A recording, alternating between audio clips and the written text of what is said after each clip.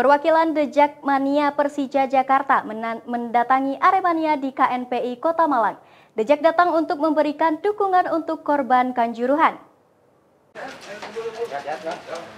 Perwakilan The Jackmania Taufik Ferry Indra Sarif bertemu dengan perwakilan Aremania.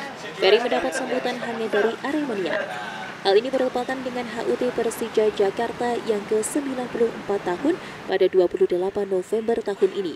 The Jack secara langsung memberikan bantuan donasi untuk korban tragedi Kanjuruhan.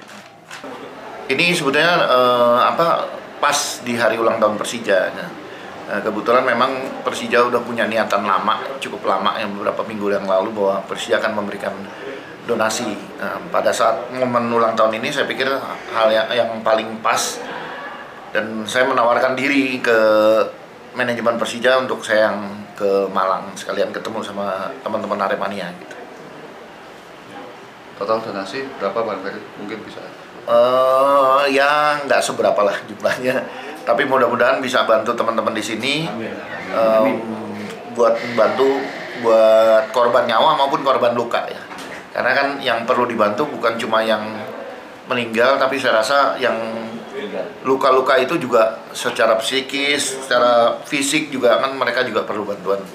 Ya saya serahkan, saya percayakan ke teman-teman Aremania di sini yang uh, ngelola. Gitu,